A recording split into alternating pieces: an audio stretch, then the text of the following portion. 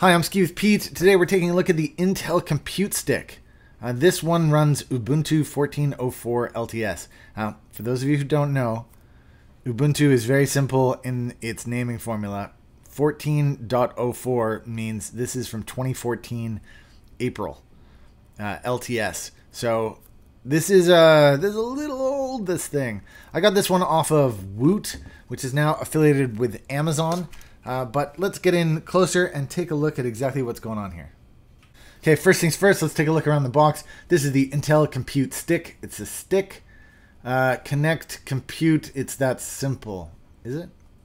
Never is. Uh, Intel Compute Stick. For this unboxing and walk around, I'm just going to take a look at what's going on. Here we see it says security notch micro SD card slot. Oh, I wonder if it only runs with an SD. I don't know. Uh, USB 2 port. It's got a quad core Intel processor, Ubuntu. As I said, uh, eight gigabyte storage. Okay, so the US the micro SD card slot is for additional storage. Eight gigabyte storage, one gigabyte memory, Wi-Fi BGN, and Bluetooth 4. Also includes an HDMI extension cable and power adapter with USB cable. It's got a power button and a power port. There's the HDMI. You see, it's all it's all just one stick, and that's probably going to be about life size. Uh, does this tell you anything different? Not really. It's nice to see something come with Ubuntu, though. If I'm honest, I kind of bought it for that. I just, I'm a big fan of the Ubuntu. There's a bunch of serial numbers and stuff on there. Transform any HDMI TV or monitor into a fully functional computer. Well, that's let's be let's. It's not really an overpromise because that's really what just a computer does. I mean, every computer turns an HDMI TV into a fully functional computer. Whatever. All right, let's get inside. Look, I I know I talk about it a lot, but packaging done right, look at this. What am I supposed to do here? Oh, there's a little black tab, and I pull the little black tab,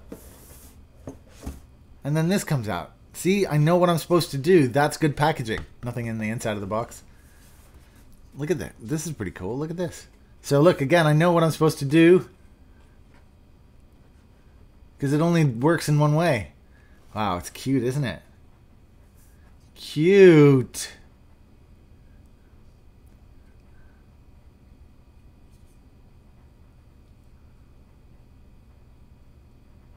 Oh, okay, so even though we were looking at that picture, that picture described both sides. You can see the micro SD card slot is actually on the other side from the rest of the stuff. It's not a big deal. I'm just saying, just saying it is. Intel inside. That looks pretty slick. All right, let's see what else is inside the box. Whoa, lots of stuff. It's like a treasure trove in here. Okay, first we have the quick start guide, sure. We have the extender. That's just to extend it a little bit if we needed to.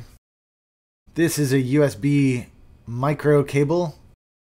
These are the world's adapters to adapt to any region of the world. And this is going to be the little power brick. Yeah, that's the little power brick there. I'm just going to doubly make sure here. This little power brick. 5 volt 2 amp. So that's a 5 volt 2 amp. Uh, and I'm just going to put on the US connector on it. There you go. Alright, doesn't need this plastic wrapper on it anymore. It's very glossy, so very fingerprinty, but it doesn't really matter. This is just going to hide behind your TV anyway.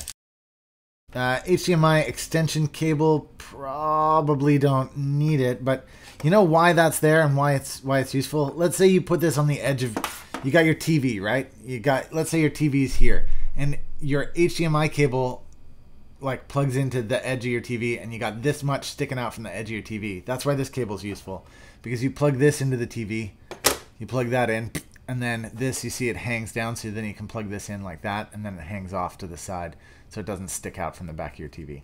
That's what, why it's useful. Also, if your TV has a lot of interference, as mine can, then this is also useful for that. Oh, this has a little, this has one of those plastic tops too. I'm to peel this off too. Oh, yeah. Oh.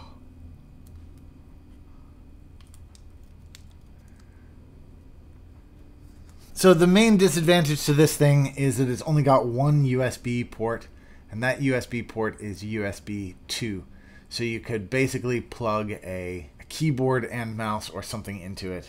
So I just took a look online and checked if this thing supports CEC, which is the ability to control the computer via your TV remote connected uh, via HDMI. Just so you know, the Raspberry Pi at 35 bucks does include CEC. So this thing, that means that this USB port will need to connect to a mouse and or keyboard. But that doesn't mean that there's no use for this thing. This thing could still do a lot of really cool stuff.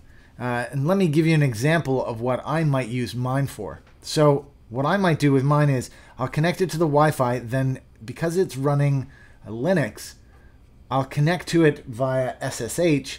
I'll plug a webcam in here and then I'll be able to run this as a standalone web device so that I can add an extra camera to what you're watching right now. Thank you very much for tuning in today, guys.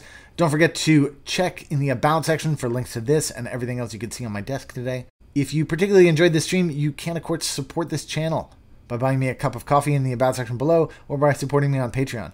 Don't forget to leave comments in the comment section below to check the About section for relevant links. I think I've already said that. Don't forget to press like, don't forget to press subscribe, and we'll see you guys again soon. I'm looking forward to getting one of these projects started. So next time you see this thing, we'll probably be in a project. Cool. Thanks, guys.